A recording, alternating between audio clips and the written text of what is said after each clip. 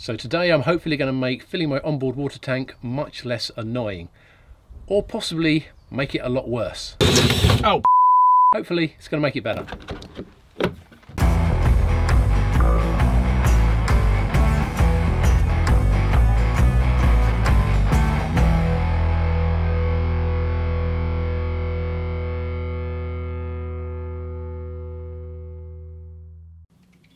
Hi, it's Dave T here, and if you follow this channel, then you'll probably know that I've already made two improvements to my onboard water tank system on my Bailey Caravan.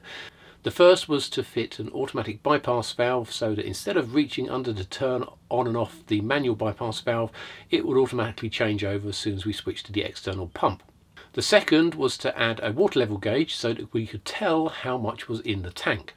Now both of these features have made it much better to use the system but there is still one very annoying thing about when we are filling the tank. Now filling the onboard tanks takes somewhere between kind of 5 and 10 minutes and at the moment the only way we can tell if the onboard tank is actually full is we either have to look underneath the van to see if it's overflowing or we have to just keep on checking the gauge again and again to see once it's full. This can be awkward when we're setting up on site because we're busy doing other things. We don't want to necessarily just sit around waiting and it's awkward to check and listen out for it. And if there's other wind noise and stuff, you can't really tell if it's overflowing. Our old van, the Swift, also had an onboard tank system. That had a different approach where they allowed you to set a certain number of minutes for how long the external pump would run to fill the tank. Now that didn't really work either because basically you could only set a certain number of minutes uh, so it might not fill the tank fully and obviously it's going to be a different number of minutes you need depending on whether it's full or half full before you actually started to top it up. So that didn't work either. Now the ideal system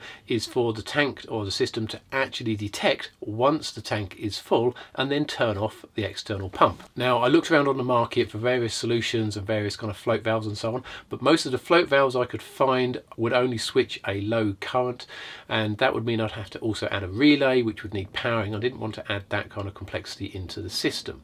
However, recently I purchased this 3D printer which has opened up a whole new realm of possibilities.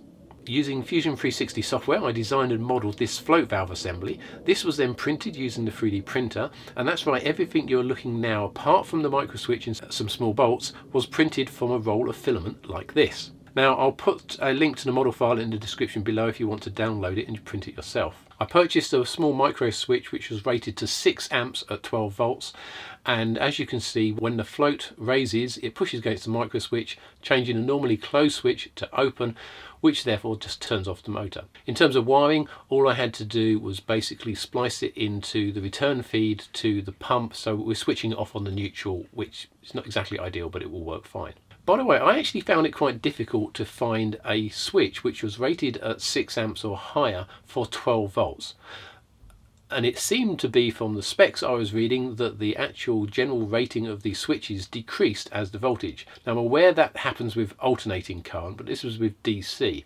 And I'm not I'm also aware obviously that in a circuit the current tends to rise when the voltage decreases but this was the actual rating of the switch so I'm not entirely sure why that was. If anyone knows then please do mention it in the comments I'll be interested. But either way the switch I found is rated to 6 amps which is more than the actual pump draws so that's totally fine and it's 6 amps at 12 volts to fit the float assembly I had to drill a 20mm hole in the tank and I recommend taking some sort of cup or maybe something like a towel and put that into the tank to catch any swarf rather than have to try and pick up the pieces afterwards which is what ended up happening to me.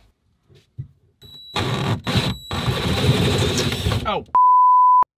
The switch is then wired into the power line to the pump, meaning that as soon as the tank is full, it will shut off the pump. We do still need to switch back from the outboard to the onboard pump afterwards, but that's totally fine. The main thing I was trying to avoid is basically wasting the water we'd had to go and collect in the aqua by just overflowing until we realised that um, the tank was full. So that's it. Our onboard tank filling process is now pretty much as automated as I can possibly make it and it's basically a case of collecting the water switching to external, wait until it turns off, then switch it back to internal. No water wasted hopefully and uh, that should make life a lot less um, frustrating and annoying when trying to fill up on site. I'm sure this is going to be the first of many different projects where I use a 3D printer for caravan related projects and I'll put the, a link to the model file so you can download the model and print it yourself if you have a 3D printer if that's of interest to you. Hope you have found this video helpful or interesting and if you have then do please hit that like button and if you're interested in seeing other videos I make then do please consider subscribing to my channel. But most of all, thanks for watching.